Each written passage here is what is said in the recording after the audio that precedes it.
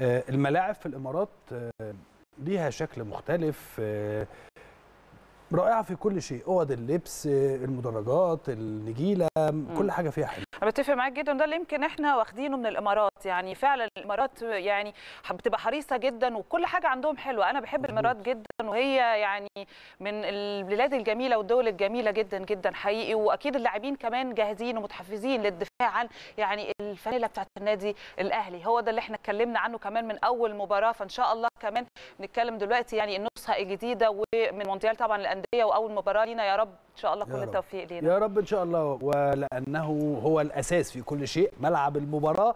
أيوة. زميلنا أمير هشام عمل تقرير كده فرجنا على الملعب وعمل عاملين شغل كويس جدا النهارده. خلينا نطلع نشوف هذا التقرير عن ملعب المباراة ونرجع نكمل مع حضراتكم.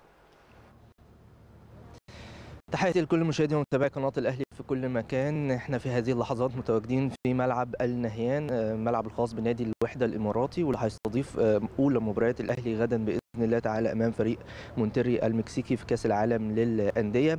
عايز أتكلم معاكم شوية عن الملعب. اولا طبعا الأرضية هنا ما شاء الله ممتازة جدا. إحنا عارفين الملاعب كلها في دولة الإمارات.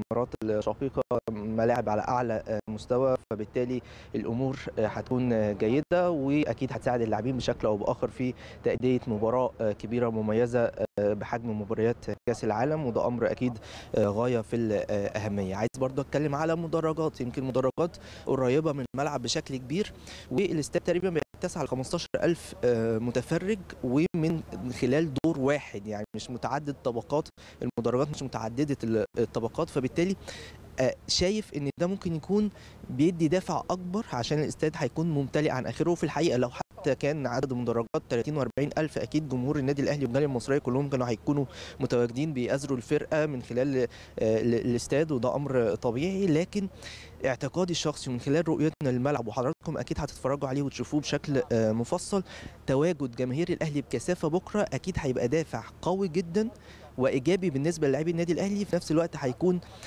موقف سلبي بالنسبة للاعبي مونتريو أكيد هيضع هيضعهم تحت ضغط كبير فده عامل أكيد لازم يستغله لاعيبه النادي الأهلي بشكل كبير جدا.